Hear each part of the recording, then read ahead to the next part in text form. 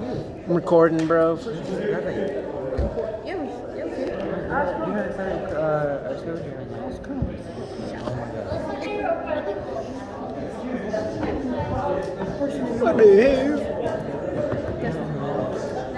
One, two, three, one, two. These two are the middle. I'm the middle.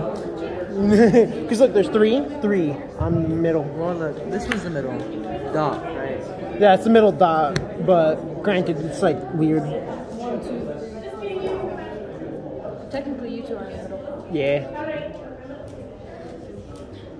Alright, you guys want to see their videos, you guys? So, wait, when I come back, okay?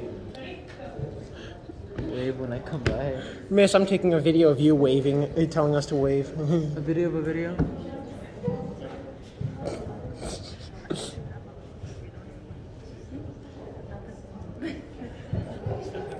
That's so bad. oh, shit. All right, we only have a half an hour. I guess I don't have to talk about the solar system too much. So I know that. But we're going to go to some cool places in the solar system and maybe stuff y'all didn't know what's going on, okay? So, first, let's talk about the solar system, not what planets are where, but let's say how far apart things are so we get a really good idea how big the solar system is. How far from the sun is the Earth? Uh, 300 million miles. 200 million miles, really? It's 93 million, okay? So Ah. 93 million miles. So as we start expanding out, it's really hard to compare solar system size with millions of miles. So there's a unit for that distance. It's called an astronomical unit. You heard that term, an AU? Yeah. So that's what that is. It's the distance between the Earth and the Sun. So we can use that. So then Mars is 1.6 AU. That's pretty close, okay? Now we get to Jupiter. How many AU? Anybody any ideas how much further away from the Earth is Jupiter than the Sun? Nine. Uh, five. Okay? So Five. that's how it goes. So it's five times further. So when we take a rocket ship to Mars, pretty easy. Jupiter's five times further. All right, Saturn. What do you think? Nine. Close. Ten. Damn it. It's 10. So, twice as far away as Jupiter. Again, you send a rocket, it takes twice as long to get to Saturn. It's far. Uranus, 14. 20. 20. Uranus is twice as far away as Saturn. We've made, we've got spaceships in orbit around Mercury. Well, we have Mercury, Venus, of course, Earth, Mars, Jupiter, Saturn. We've flown by Uranus. We've flown by Neptune. They're too far away. We haven't actually done a whole lot there. Neptune is 30 times further. Okay? Another 10 times. Then we get out to the Kuiper Belt, with where the X planet is, Pluto. It's about 42 times further away. And the reason that Pluto is called a what? You know the name right now? Dwarf. It's a dwarf planet. It's And- like the moon, isn't it? and it's because that little world up in the upper right that you see called Eris, we just discovered Eris in the early 2000s because it's 68 times further away, but it's as big as Pluto. Okay, it's just almost the exact same size. So the deal was, astronomers like, well, is Eris the 10th planet? Um, then we found Makemake, Haumea, Sedna, and the list goes on. So the decision was those are dwarf planets. So we now take tests in school, you have eight planets and extra credit for dwarf planets, okay? So that's how it can go. But anyway, that's one of the main reasons is because of Eris. Anyway, so what we're going to do is go look at some of the cool stuff. And we're not going to spend a whole lot of time in a lot of boring planets. Um, like There's no such thing. we had half an hour or so. The closest planet is Venus. Mercury. And of course, it, it's sort of boring. I mean, it looks like the moon, it's got no atmosphere. The only cool thing is that it has an iron core about the size of Earth's. Which means what?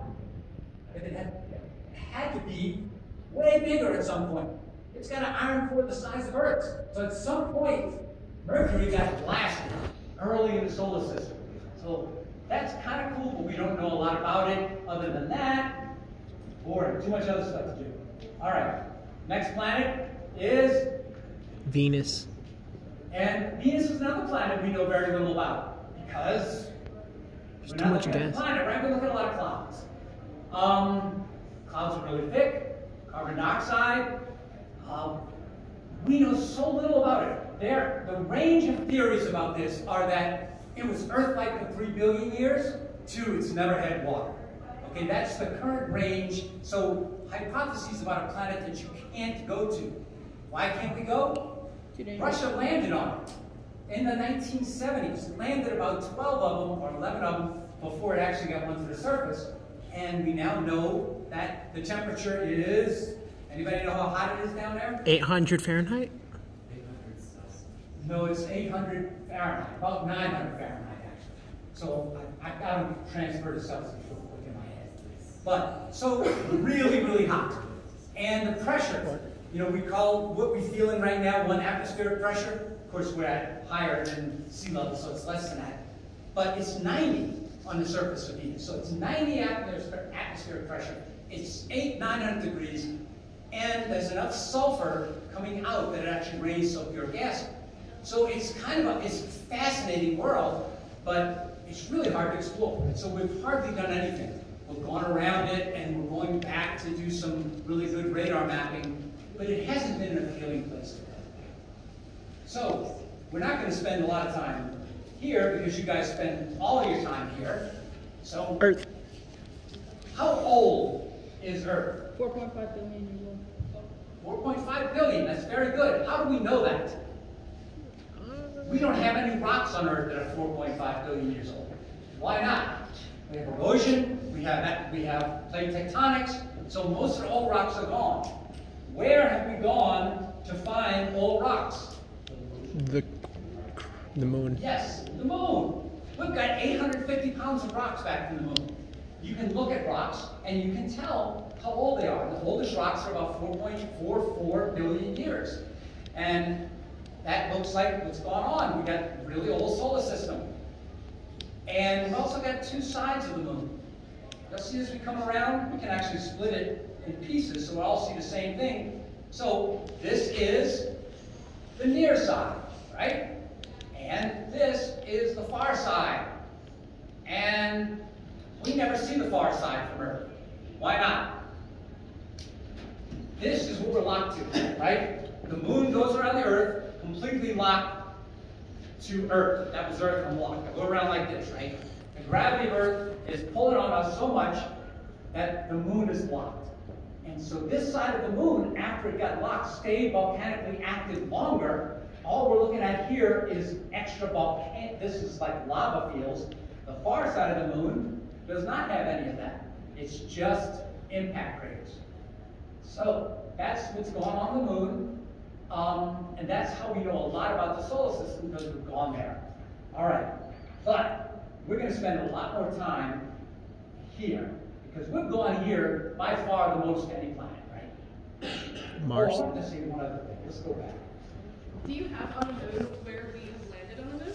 I actually do. It's not on this one, but I do have a picture of that. Oh, really? I can go find it, yeah. Before the end, I would love to see that. All right, so first, there's three big things that let life exist here.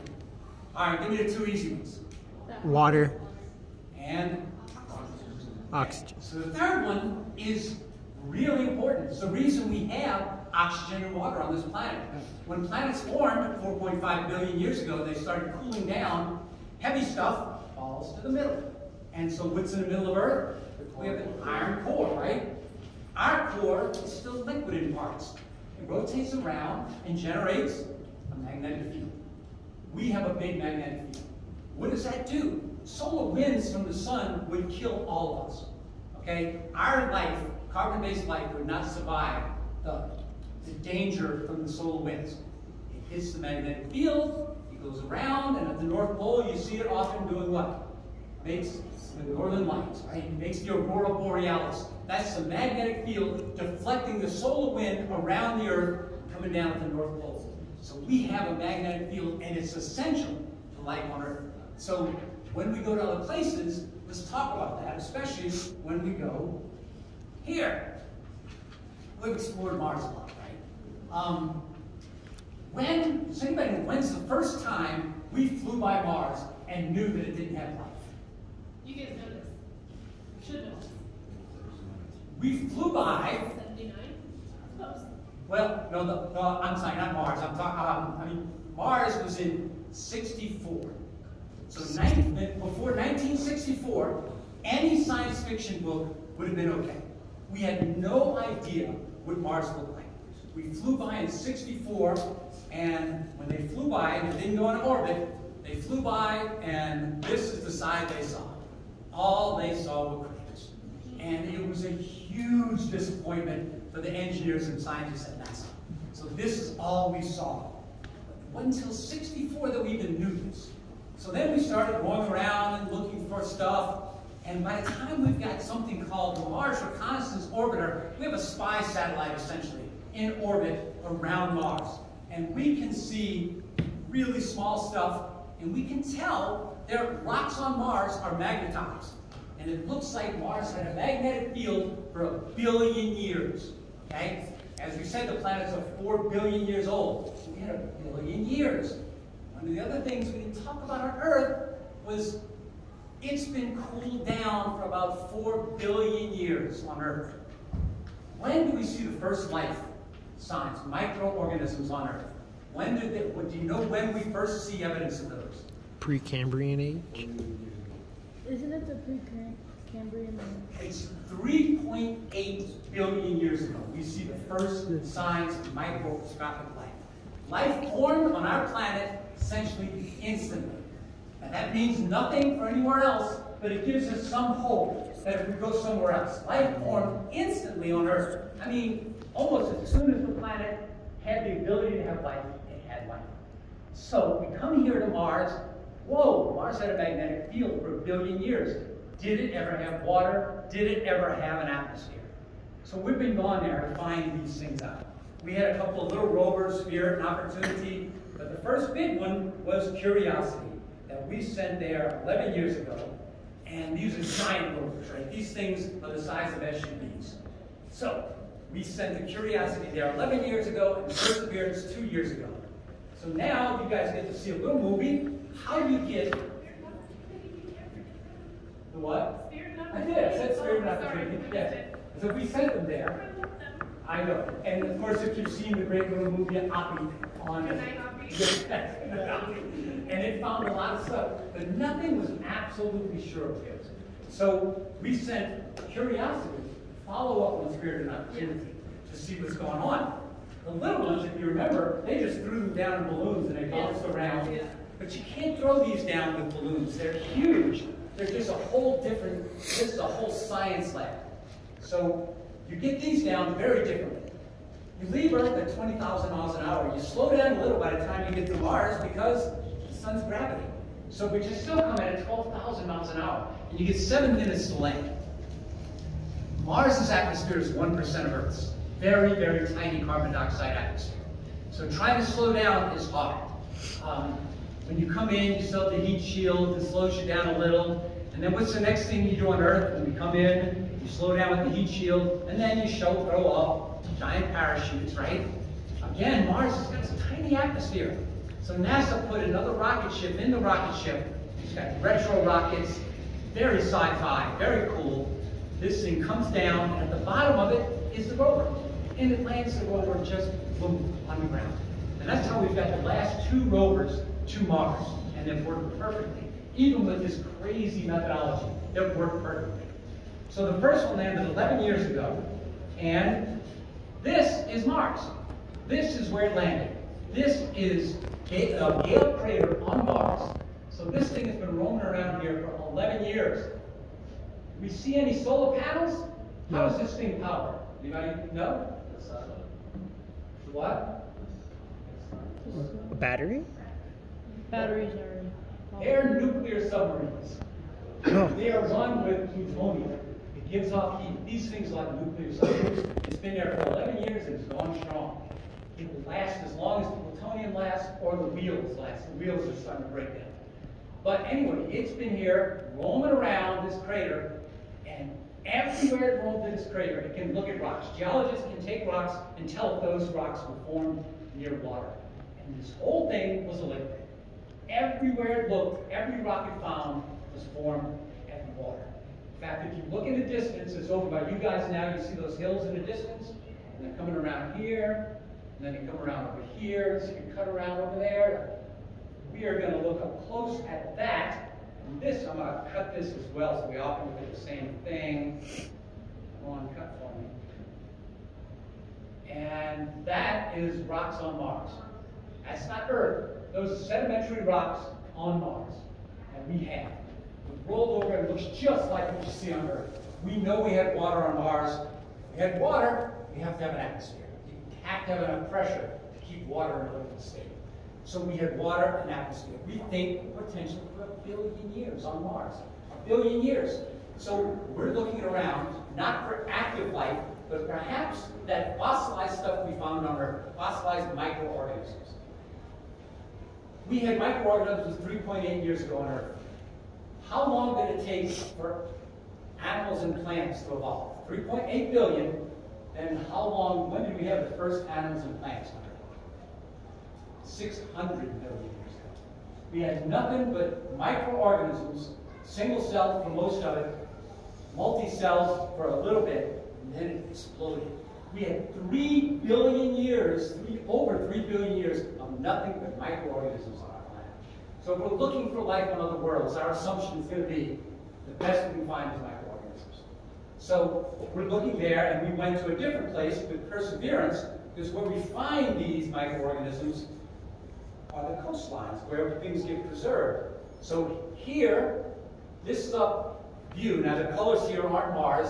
The, this is called the topography map. Y'all probably have seen those, right? Topographic.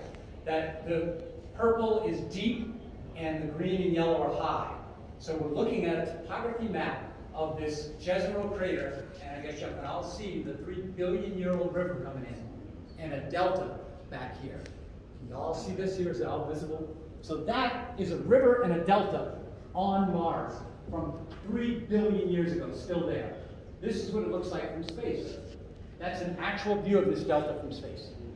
So this is cool. We know we had rivers and deltas on Mars. And the Perseverance rover is there right now, roaming around here. Been there for almost two years. Curiosity is cool, took a lot of cool stuff, told us Mars was habitable.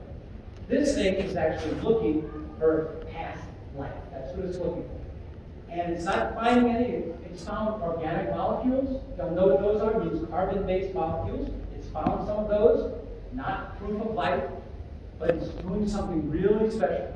It's really cores all over as it goes. It's going to be there a long time, and it's been there two years, and it's drilled 10 cores.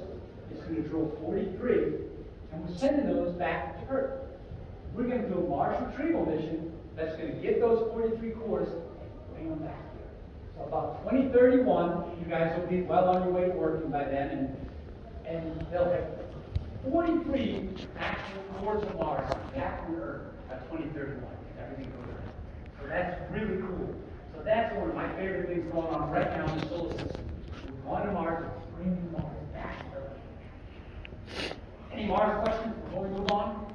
Can you, one thing that fascinates me about Mars is Olympus Mons, the the Oh, tall yeah, yeah. You know, Can we, we, we jumped through, let's go through a little bit of the geography of Mars. And, and put into perspective Mount Everest compared to that mountain too. So we'll go back to Mars. As we go through, I sometimes have to cut my things short. We get it. All right, so we talked about two different sides of Mars, and this is good. I often talk about this. So we have the two sides of Mars. So we have the size that looks like the moon, a red moon, right? And then we have the side that doesn't look like that.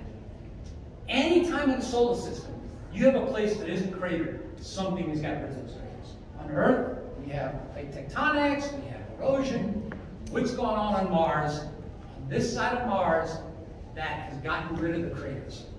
So what are these huge four bumps? Somebody, besides you. Mountains?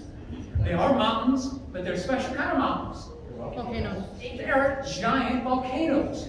So some, Mars does not have plate tectonics. So this side of Mars, for some reason, and we don't know why, hopefully we'll have some astronauts there to do better, it has been pushed up. It's the highest part of Mars. sometime way, maybe it was a major impact, we really don't know. This side of Mars has been pushed up. And it just stayed in one spot. So we had giant volcanoes created there. Olympus Mons is about three times the- height of Mount Everest. I don't even know the name of the other three, I keep forgetting but they're about twice the size of Everest. Then, as it kept pushing up, this happened to Mars, it just cracked. It's a huge crack on the surface of Mars. It's called Valles Marineris, and it's as wide as the United States, and it's three miles deep. Grand Canyon is one. It's huge across. You couldn't possibly even see across. So it's a giant feature. This part of Mars just cracked. So, okay, now we're giving you enough clues of why don't we have craters around these volcanoes. It comes out of volcanoes. Oh, this is a giant lava field from these volcanoes. And very recent, the, most, the latest studies that I've seen say 25 million years ago, these things still were from lava. We still have tiny eruptions that we've measured. We had a seismograph on Mars for a while and measured that. So this side of Mars is very recent. The other side of Mars, very old. So that's what's going on. And I'm sorry, I forgot about that. I do that all the time. I always talk about that because it's really cool because as we go in the solar system, anywhere, anywhere you don't see craters, you always assume there's the same amount of craters everywhere. So let's move on. So that's what's going on in Olympus Mons. Very big and still, when you say active, that's old, but it, it's not been billions of years that these things. If so, you would see craters next time. We don't see any craters around here. Okay, so now we're going to move on because we got this. We, I don't know how long we got to stay here, but the biggest planet is Jupiter. Jupiter. All right. Let's talk again. How big is Jupiter? If you open up the top of Jupiter and start dropping Earths in, how many? 1,000. 1,000. Exactly. No. 1,000 times the volume of Earth. 1,000. And just to keep that in perspective, you can put a thousand Jupiters in our sun. Okay? So that's the size difference. Thousand. And it's it's really massive. It weighs more than everything else in the solar system put together. Every other planet, course, except the sun. Everything else put together, this thing is more massive. There's tons of cool stuff, of course. We've been at Jupiter with spaceships over 20 years. We had Galileo there earlier, we have Juno there now. So we know a lot about this from spaceships. What's the what's the little eye thing coming around over there? That's a hurricane. Big red spot. There's, sometimes scientists just gives really good names to things, sometimes they don't. That's called the Great Red Spot. I mean, I mean, it's simple. So it's a Simple and easy name to remember, Great Red. Spot. We've got another view with it right on top. It's going to pop up over here in about two seconds. One, two. So that is Jupiter's Great Red Spot, taken from the latest Juno spacecraft. And that's it coming around. And that right there is about 1.6 times the diameter of Earth. Earth could fit inside this giant Earth. So the first telescope that could see this was in 1640. So it's been there for that many years. Do you guys remember who first found it? Galileo. Seen. Galileo with Earth's space, telescope in 1610. But he didn't see the red spot, or at least he didn't report seeing it. Cassini built a 1640, built one, or we're about to go, just about to ask, who built the first telescope? And that was in 1610, and that was indeed Galileo. Galileo. You imagine, he's the first person to see the rings of Saturn. He's the first person, and when he looked at Jupiter, he saw Jupiter and then four little dots next to it that he hadn't seen before, but of course he could see the stars all over. But he kept looking at it, and then dots were moving. And in 1610, after observing it for a while, he realized they were all going around Jupiter. It was the first time anybody had said something went around anything but the Earth. And of course, what happened to Galileo for that? Did he get killed?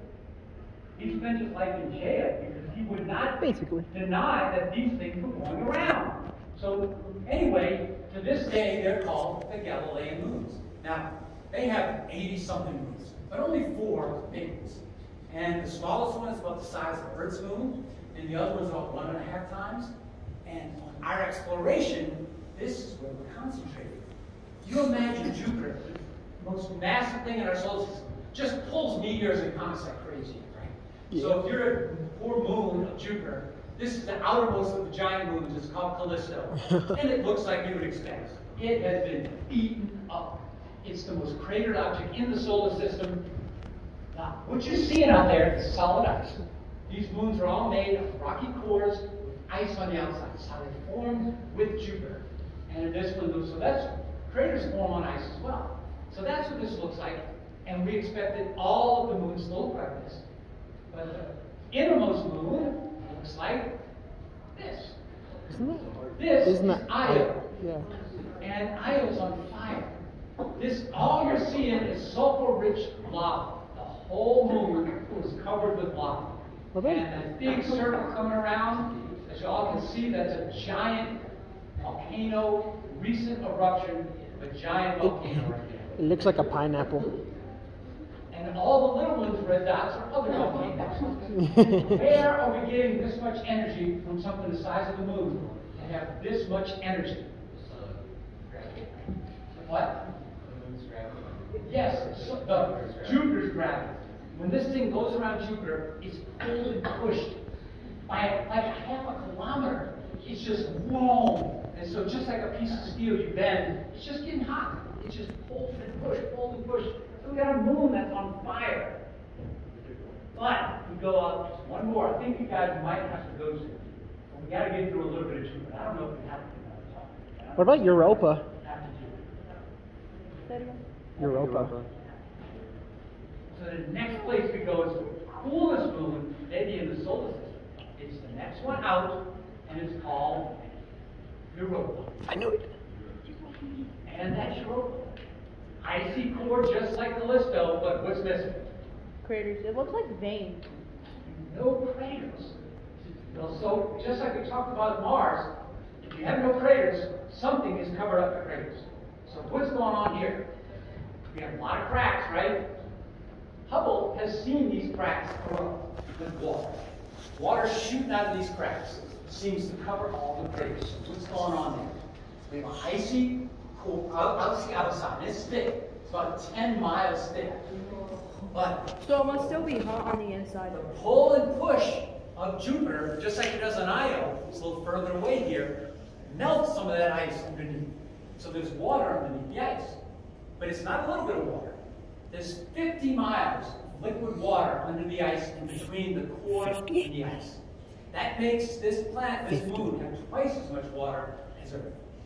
We have a water world out here. So this is a huge discovery that we have worlds full of water.